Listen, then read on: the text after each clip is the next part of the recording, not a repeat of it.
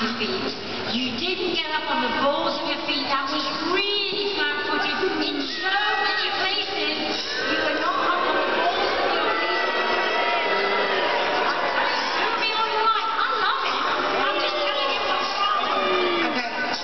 Okay. What was that? Yeah, we've been told that we were too much on our toes. I got told three seconds ago that I wasn't walking my feet too much. Now it's going to be like that. It's going to be stomping. You did completely flat-footed. Completely. You've got to use, your feet.